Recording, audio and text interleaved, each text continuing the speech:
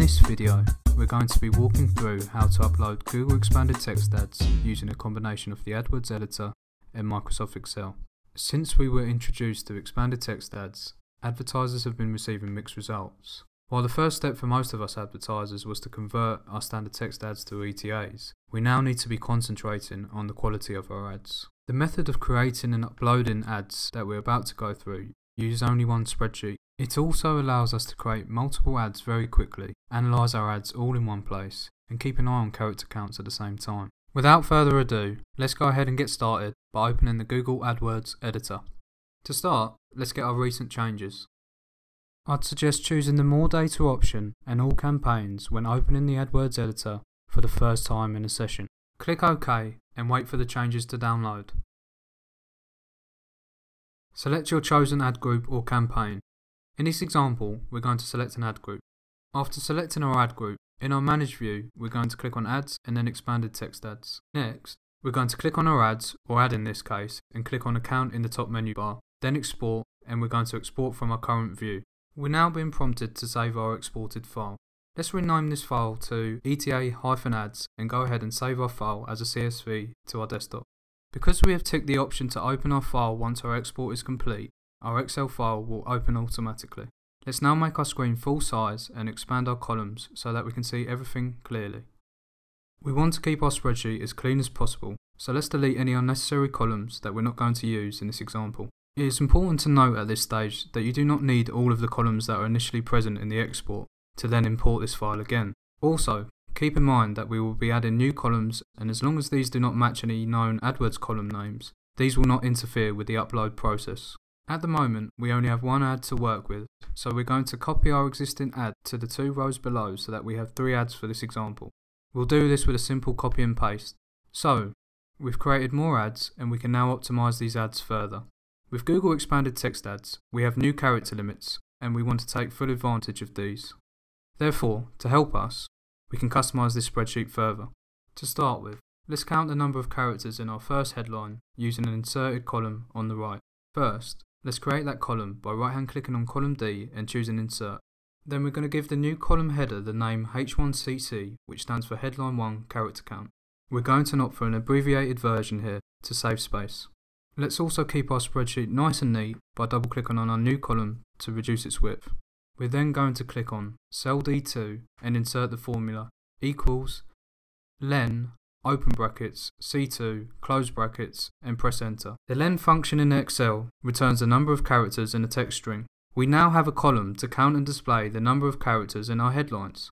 Let's drag this formula down to cells D3 and D4 by double clicking on the bottom right hand corner of cell D2. Now we're going to create CC columns for our second headline, our description and our paths. We're also going to copy and paste our formulas from H1CC across to our other CC columns. Let's recap what our character limits are. Both headlines now have a character limit of 30 characters. We now only have one description, but it has a character limit of 80 characters. Finally, there are two paths, each with a character limit of 15 characters. So, the new columns we have created will show us how many characters there are in each section of our ads. These character counts will automatically update as we make changes to our ads. For example, let's change the first headline of our second ad to Upload Google Expanded Text Ads. As you can see, our character count in cell D3 changed from 28 to 31. 31 characters would make our headline too long. Cell D3 has been helpful by displaying the number of characters, but we can go a step further and apply conditional formatting to this cell so that we have a visual cue. To do this, we're going to select cell D2, click on conditional formatting, choose highlight cell rules, and then select greater than. We're now seeing a box which is providing us with options to set up our new formatting rule. We have already chosen the greater than option, so most of our fields are already set up for us. All we need to do is enter the cell value 30 into the empty box and press OK. This formatting rule is now set up to format the headline 1 character count cell with a light red fill with red dark text if our headline is over the allowed character count of 30 characters. We can now drag this formula down to cells D3 and D4 by double clicking on the right hand corner of cell D2. We can see that our headline 1 has a more prominent visual cue to let us know that this headline is over 30 characters. Let's change the headline to Google Expanded Text Ads H1 so that it no longer exceeds the allowed character count. We can also use conditional formatting to notify us when we have achieved our ideal character counts. To do this, let's click on cell D2 again and go to conditional formatting, highlight cell rules, and this time we're going to select the between option. We want to use as much of our character allocations as possible. So let's set this rule to highlight all cell values between 25 and 30 characters, with a green fill with dark green text. Next, let's press OK and drag our formula down to cells D3 and D4. To test what we would see if our headline 1 was under 25 characters, let's shorten our third ads headline to expanded text ads. Now, we can see that if our headline is under 25 characters, our H1CC cell will not have any formatting. Even though we could add further formatting to highlight which headlines were under our ideal character count. I prefer to leave these cell values without any formatting to keep things simple and so that we can save ourselves from being overwhelmed with formatting. By doing this, we just have red and green highlighted cells, which is nice and simple. We can now copy our conditional formatting rules over. For H2CC, we do not have to edit our rules after pasting them because the character limits are the same. However, for our description and paths, we'll need to change the rules.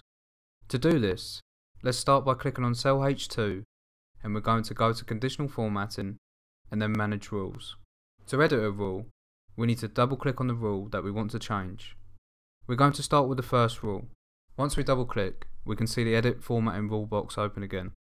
For the description, we're going to change our ideal character values to be between 75 and 80 and our cell value limit to be greater than 80 characters. Once we've done this, we can press OK to save our rules and double click on the bottom right hand corner of cell H2 to apply the new rules to cells H3 and H4. For our paths, we're going to carry out a similar process and click on cell J2, then conditional formatting and manage rules. When creating paths, we want to concentrate on making them relevant and also to give those viewing our ads a better idea of where on our site they're going to land. For this reason, we're not going to want to set an ideal character count. To delete a rule, we need to have the rule selected and click on the minus icon in the bottom left of the box. We're now going to edit our character limit by double clicking and changing the cell value to 15. We now need to press OK and copy the P1CC conditional formatted cells and paste them into the P2CC cells. Google has told advertisers to keep the total headline character count at a maximum of 33 characters to avoid truncation. To help us successfully meet this 33 character limit, we can add another column to calculate the total character count of both headlines. Let's create another column after H2CC and we can call this H1CC plus H2CC. We once again want to use the len function and this time the formula we want to use is equals len open bracket C2 close bracket plus len, open bracket, E2, close bracket. As always, we then want to drag the formula down to cells G3 and G4. The next step is to set our conditional formatting rules. First, let's clear the rules we currently have set for these cells by clicking on conditional formatting, clear rules, and then clear rules from selected cells. To set our new rules, we want to go again to conditional formatting, highlight cell rules, and then choose greater than. This time, we don't want our cell values to be greater than 33 characters, so we will enter the value 33 into the box and press OK to proceed. Now we also want to set a conditional formatting rule that notifies us when our combined character count is under 33 characters. Again, we'll go to conditional formatting, highlight cell rules, and this time we'll choose less than. We need to change the format to green fill with dark green text. Enter the cell value 33 and press OK to proceed. Now, let's edit our third ads headline to be Learn More. Once we press enter to submit the change, we can see that our character counts have recalculated, and even though our first two ads are not under the 33 character truncation limit, our third ad is. We now have the option to test having a truncated ad versus non-truncated ads. Please keep in mind that the ad text that I've used in this video are just an example. To upload these ads back into the editor, the first step we need to take is to save our spreadsheet as a CSV. In this example, we just have to save rather than save as. We'll then open the AdWords editor again and navigate to our ad group and ads view. We'll then have to click on account, import and from file. We can now choose our file and click open. The last step is to finish and review our changes. While we have gone through this process slowly in this video, I found this method to be the quickest and the most thorough for uploading expanded text ads. We only used three ads in this example and one campaign in one ad group. But combining Excel and the AdWords editor using this method allows you to create expanded text ads for many campaigns and ad groups at the same time. There are also many other AdWords and Excel combos which come in handy, which I will cover in other videos. For now, that's all from me. Thank you for watching.